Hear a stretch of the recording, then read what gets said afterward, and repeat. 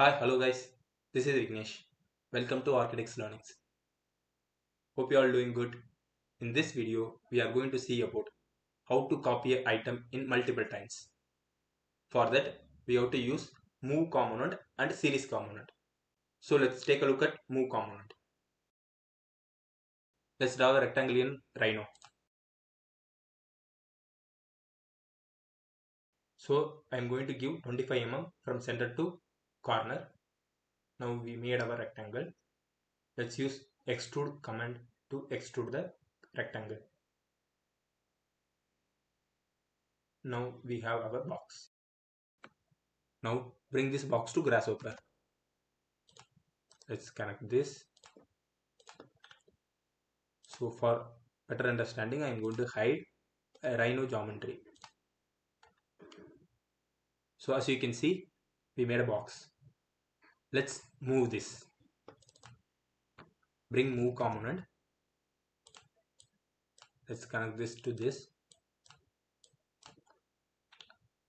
We connected the geometry to geometry motion. Which direction and how much distance you have to move. Those things you have to give here. For that first you have to define which direction you want to move. X direction. Let's connect this. I wanna move 100 mm let's say. As you can see we move the component 100 mm so this preview is this. So if I hide this you can see this is the only geometry is there. So let's unhide so we made a copy of one item. What if you want to do multiple item for that we have to use series component.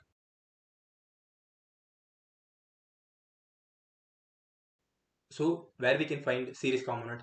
We can find series component in sets, sequence, series. Right? So for multiple copy, what are the requirements we need? We want to know where to start, how much distance between every copy, and how much copy you want to make. Let's take a look at series component. In this, what are the inputs are there? Start, step and count. Start is where you want to start. Like it is from 0 or after 1 meter or 2 meter like that. Then step. How much distance between each component that defined in step. Then there is a count.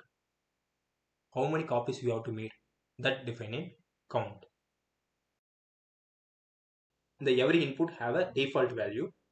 The start has 0 step has 1 count has 10 so let's connect everything to the factor. So as you can see this made a multiple copy but it, it's overlapped because the step is 1 mm only. So let's increase this distance into 100 mm connect this 100 mm to steps. So as you can see we made 10 counts of boxes. So let's define counts also. I'm going to give 5 so as you can see it made a 5 items. So if you see the first item is 2 red than other items. Why? Why? Because there are two previews are available. One is series preview another one is geometry preview. So if i hide the geometry preview as you can see everything is same. So now we will define from how much distance we have to start. Let's connect 1000 so as you can see from the origin it moved 1000 we can adjust this also. We can adjust steps also.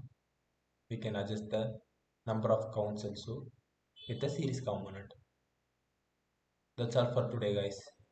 See you tomorrow. Bye